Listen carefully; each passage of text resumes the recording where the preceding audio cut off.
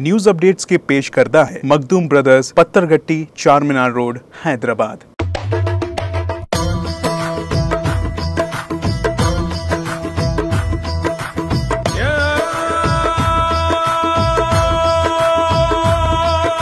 Makhdoom Brothers Pathargatti Charminar Road Hyderabad. अस्सलाम वालेकुम आदाब मैं हूँ जय। न्यूज़ अपडेट्स में आपका इस्तकबाल है। चलिए बढ़ते हैं आज के न्यूज़ अपडेट्स पर। दिल्ली यूनिवर्सिटी के 100 साल पूरे होने पर 19 मई से 21 मई तक तीन दिन का इंटरनेशनल सेमिनार का इंतज़ाम किया गया।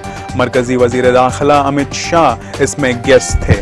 शाह ने कहा कि किसी भी यूनिवर्सिटी को नजरियाती लड़ाई के लिए कुश्ती का मैदान नहीं बनाना चाहिए, बल्कि ये नज़रिए के लेने और देने के लिए फोरम है। महाराष्ट्र सरकार ने एक असलाही कदम उठाते हुए बेवा खवातीनों के लिए चली आ रही ऑर्थोडॉक्स रिवायत को खत्म करने की पहल की है। इसमें पति की मौत के बाद चूड़ी तोड़ने, सिंदूर पोषने और मंगलसूत्र निकालने की प्रैक्टिस शामिल है। रियासती सरकार ने कोलापुर के हेरवाड़ ग्राम पंचायत को नजीर मानते हुए पूरे रियासत में बेवा निज़ाम को खत्म करने का हुक्म दिया है। ज्ञानवापी मस्जिद पर जारी तनाजे के बीच राष्ट्रीय स्वयंसेवक संघ आरएसएस ने एक बड़ा बयान दिया है। आरएसएस लीडर सुनील अंबेकर ने कहा कि ज्ञानवापी का मामला चल रहा है, कई फैक्ट सामने आ रहे हैं। हमें किसी भी हाल में सच्चाई को बाहर आने देना चाहिए। उन्होंने कहा कि कोई भी मामला क्यों ना हो, लेकिन सच्चाई हमेशा अपना रास्ता निकाल लेती है। सच को कभी भी छुपाया नहीं जा सकता।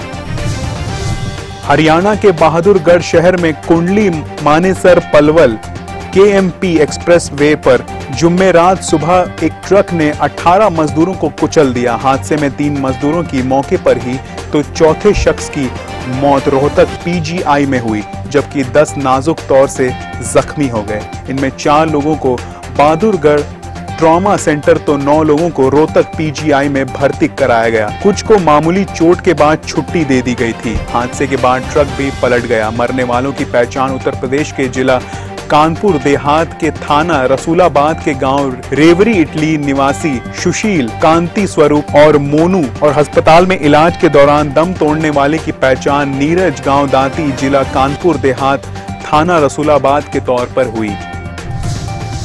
स्कूल कॉलेज में लड़कों को हंगामा करते हुए और झगड़ा करते हुए तो आपने कई बार देखा होगा, मगर स्कूल की लड़कियाँ ऐसा कर सकती है, ये कोई मान नहीं सकता। दरअसल कर्नाटका में ऐसा ही वाकया हुआ। रियासत की राजधानी बेंगलुरु के एक नामी स्कूल की तुलबा के बीच जमकर लात घुसे और थप्पड़ चले। ये जूतम पेजार लोगों से खचाखच भरी सड़क पर हुई। इसी दौरान स्कूली यूनिफॉर्म में लड़ती हुई तुलबा का वीडियो आसपास मौजूद लोगों ने अपने मोबाइल कैमरे में कैद कर लिया। सोशल मीडिया पर अब ये मारपीट का वीडियो खूब वायरल हो रहा है।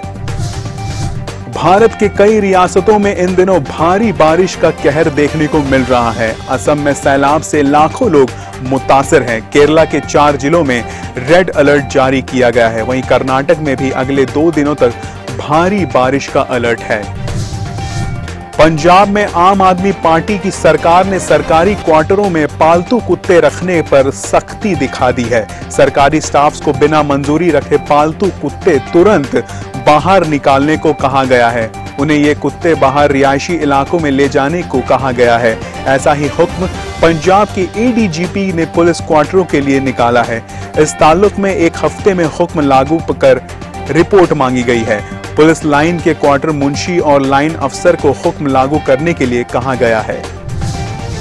छत्तीसगढ़ के बिलासपुर की रहने वाली पिचानवे साल बेवा ललिता देवी को पेंशन के लिए हर तीसरे महीने 900 किलोमीटर की दूरी तय करनी होती है। उन्हें छह हज़ार रुपए पेंशन मिलती है। इसे पाने के लिए वो 20 सालों से बलिया उत्तर प्रदेश आना जाना कर रही हैं। Lalita Devi second world war के फौजी रहे रंजीत सिंह की पत्नी हैं। वैसे तो वो बलिया में ही रहती हैं लेकिन पिछले दो दहाई से बिलासपुर में हैं। बिलासपुर आने के बाद उन्हें हर तीसरे महीने ज़िंदा होने का सबूत देना पड़ता है। पहले उनके बेटे के साथ बलिया आना जाना ज़्यादा दिक्कत होता था, लेकिन पिछले 10 साल से सफ़र करने की हालत में वो बिल्कुल नहीं है।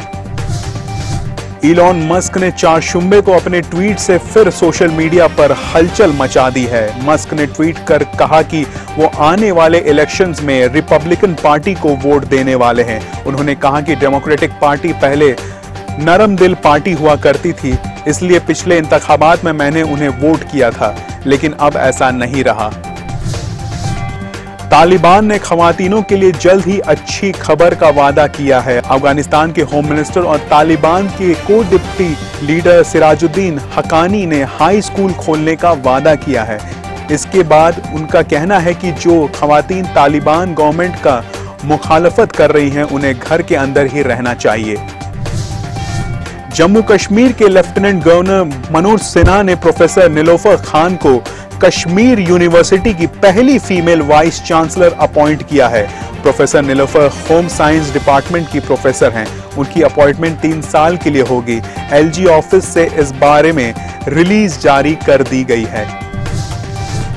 अगर आप दो से ज़्यादा बच्चों के पेरेंट्स हैं तो आप दो या कम बच्चों वाले माँ बाप के मुकाबले ज़्यादा तेज़ी से बूढ़े हो रहे हैं। कोलंबिया यूनिवर्सिटी के रिसर्चर्स ने रिसर्च में दावा किया है कि तीन या उससे ज़्यादा बच्चों वाले गार्डियन अपनी असल उम्र में छह अशारिया दो साल ज़्यादा बूढ़े हो जाते हैं। रिसर्च में तेज़ी से बूढ़ा होने की वजह बच्चों को पालने की फ़िक्र और इकतसादी बोझ को बताया गया है।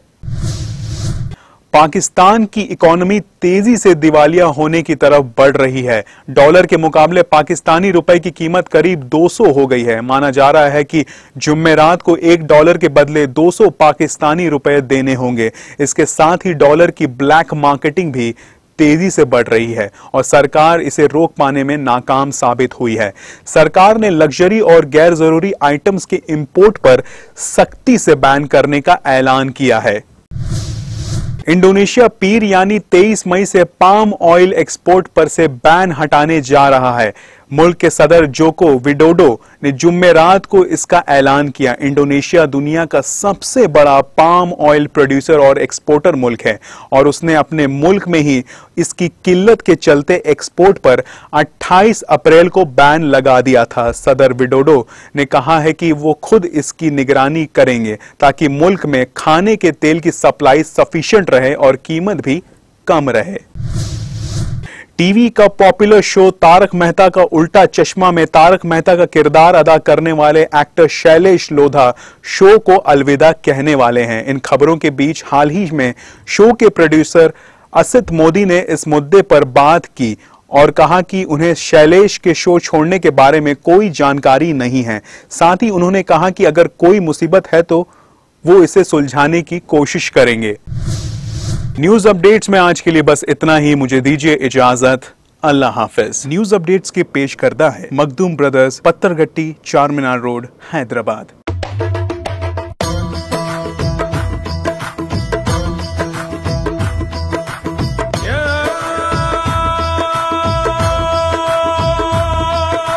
Makhdoom Brothers Pathargatti Charminar Road, Hyderabad.